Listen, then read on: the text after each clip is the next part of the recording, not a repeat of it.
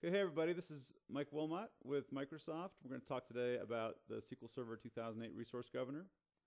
Just a few slides to look at the Resource Governor. What you've got in SQL Server 2005 is a single resource pool, uh, database engine uh, workloads that aren't differentiated. So you can see here all the workloads run in a single space, and there's a best effort resource sharing in terms of memory, CPU, and threading. In SQL Server 2008, you have the concept of, of resource governor groups and resource governor pools.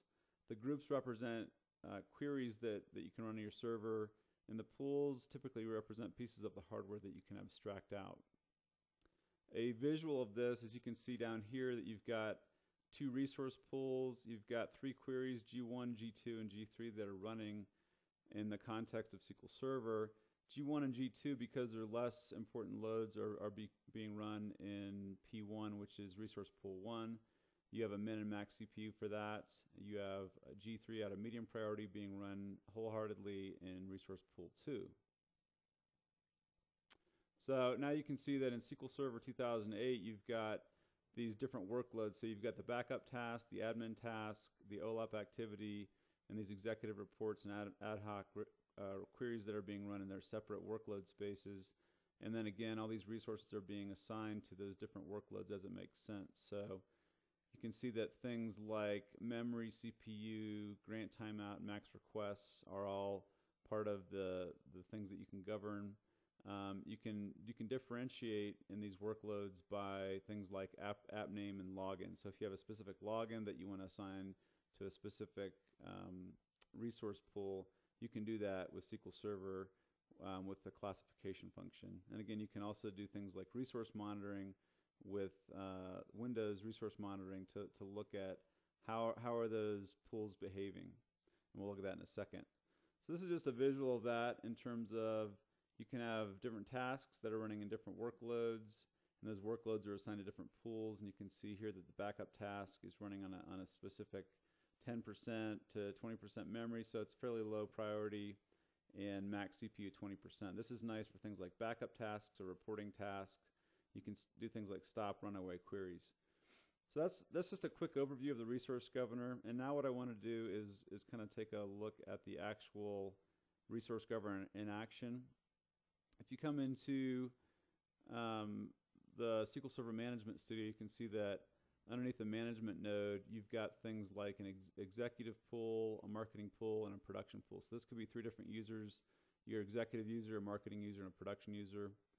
And within, within the context of each of those pools, of which again represent pieces of the hardware, you've got different groups that represent queries that you're running. So if you come in here, you can look at properties of the executive pool, things like minimum CPU, maximum CPU, minimum memory, and maximum memory percent. And you can look at the group, you can assign different importances to the group, and you can also look at other resources that pertain to those groups. Maximum requests, CPU time, memory grants, grant timeouts.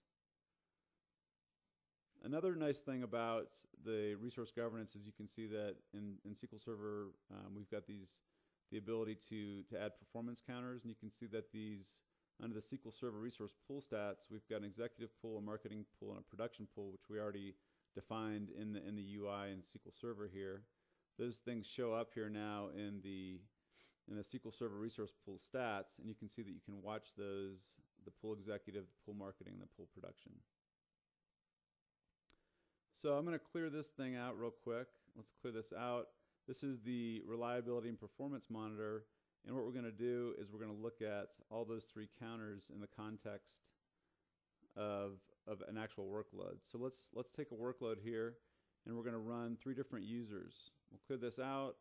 We're going to run the executive user here to start out. So this user says is going to be given the leeway to run queries as, as he or she wants and have pretty much free reign of the machine. Then say at a given point of the day, the marketing user fires up a long run query you can see that immediately the resource governor working with the, the, the Windows subsystem is going to be smart enough to allocate um, the appropriate amount of memory and resources to these two queries to make sure that they're load balanced.